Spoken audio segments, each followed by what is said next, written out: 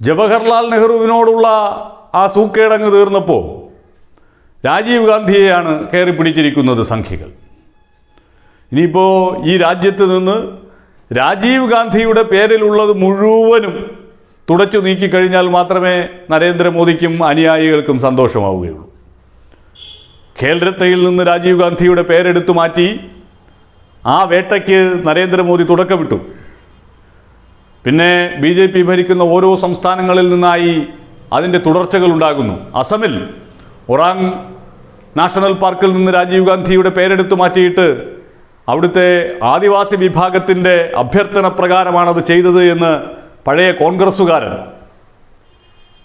കോൺഗ്രസിന്റെ ദേശീയ നേതൃത്വത്തിന്റെ വിശ്വസ്തനായിരുന്ന ഹിമന്ത ബിശ്വ ശർമ്മ പറയുന്നത് കേൾക്കുമ്പോൾ പരമപുച്ഛമാണ് തോന്നുന്നത്.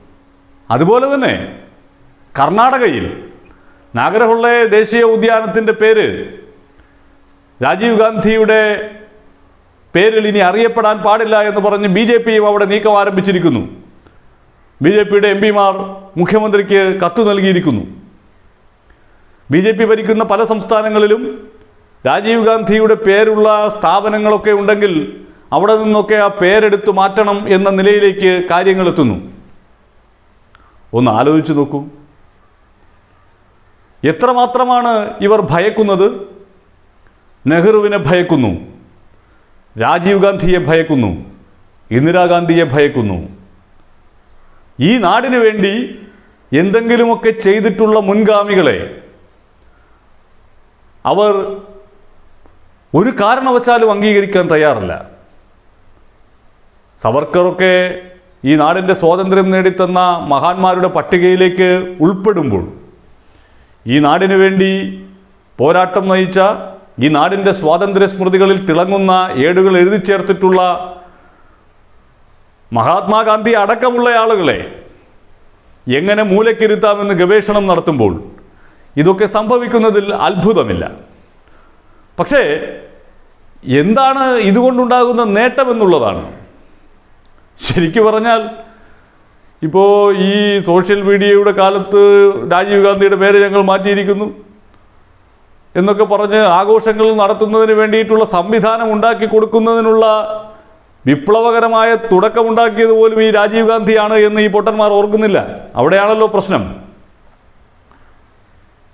അങ്ങനെ വല്ലാതെ ആഘോഷിക്കുകയാണ്. ഇപ്പോൾ അസം മുഖ്യമന്ത്രി പറയുന്നത് അവിടുത്തെ ഗോത്രവർഗക്കാർ പറഞ്ഞതുകൊണ്ട് രാജീവ് ഗാന്ധിയുടെ പേരെടുത്ത് മാറ്റി എന്നുള്ളതാണ്. ഈ രാജ്യത്തെ ഗോത്രവിഭാഗത്തിന് വേണ്ടി ഏറ്റവും സമഗ്രമായ ഇടപെടലുകൾ നടത്തിയിട്ടുള്ള പ്രധാനമന്ത്രിമാരിൽ ഒരാളാണ് രാജീവ് ഗാന്ധി. അവരുടെ ഉന്നമനത്തിന് വേണ്ടിയിട്ടുള്ള എത്രയോ ഗംഭീരമായ പദ്ധതികൾ ആവിഷ്കരിച്ചയാളാണ് അങ്ങനെ ഒരാളിന്റെ പേര് മാറ്റണമെന്ന് ആ വിഭാഗം പറയുമെന്ന്. അവിടെയുള്ള ബി ജെ പിക്കാർ പറഞ്ഞു ശരിയാണ്. അവിടെയുള്ള ബി ജെ പിക്കാർ ആ ടീ ഗാർഡൻ മേഖലയിലുള്ള ബി ജെ പിക്കാർ ഒരു റെപ്രസെന്റേഷൻ എഴുതി കൊടുത്തു. അത് കേട്ട പാതി കേൾക്കാത്ത പാതി രാജീവ് ഗാന്ധിയുടെ പേരങ്ങ് മാറ്റി. ഇതാണ് പറയുന്നത്. ഇവർക്ക് ഓർമ്മകളെപ്പോലും ഭയമാണ്. ഞങ്ങൾ മാത്രം മതി എന്നുള്ള ചിന്തയാണ്. ഇനിയിപ്പോൾ ഒരു വ്യക്തിയുടെയും പേര് വേണ്ട എന്നാണെങ്കിൽ എല്ലായിടത്തെയും പേരുകൾ മാറ്റട്ടെ. കുഴപ്പമൊന്നുമില്ല. അടൽ ബിഹാരി വാജ്പേയിയുടെയും മോദിജിയുടെയും ഒക്കെ പേരിലുണ്ടല്ലോ. ജീവിച്ചിരിക്കുന്ന ആളിന്റെ പേരിൽ തന്നെ കുറേ സ്മാരകങ്ങൾ ഇപ്പോഴേ ഉണ്ടാക്കിയിട്ടുണ്ടല്ലോ. അതൊക്കെ അങ്ങ് മാറ്റട്ടെ.